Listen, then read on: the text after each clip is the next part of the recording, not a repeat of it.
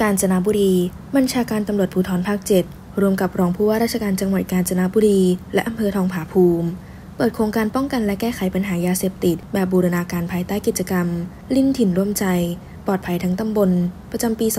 2566 ผู้สื่อข่าวรายงานว่า ที่โรงเรียนบ้านกุยแย่ตำบลลิ้นถิ่นอำเภอทองผาภูมิจังหวัดกาญจนบุรีพลตำรวจโทธนายุทธวุฒิจรัสธรรมรงผู้บัญชาการตำรวจภูธรภาค 7 นายอธิสันอินตรา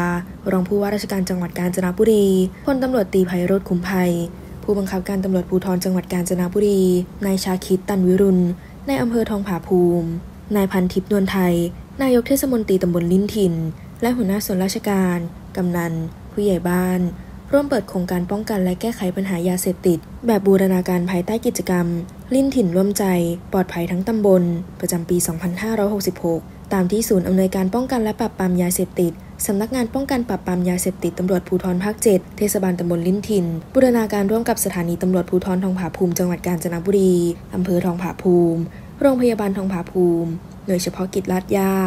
และตำรวจตะเวนชายแดนที่ 13 จัดโครงการ ดิ้นถิ่นร่วมใจ ปลอดภัยทั้งตำบล เพื่อป้องกันปัญหายาเสพติดเชิงรุกอย่างเป็นรูปธรรม และยั่งยืนของหน่วยงานต่างๆ ของชุมชน ส่งเสริมอาชีพให้แก่ผู้ที่มีปัญหายาเสพติด ให้มีอาชีพสร้างไรายได้ สามารถช่วยเหลือตนเองและครอบครัว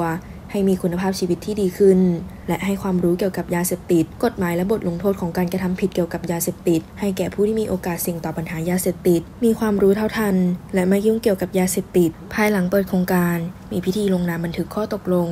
มีการมอบป้ายประจำหมู่บ้าน และป้ายคณะกรรมการประจำคุ้มของหมู่บ้าน ข่าวนิว 24 การจนบุรี ปีชาไรวาริน รายงาน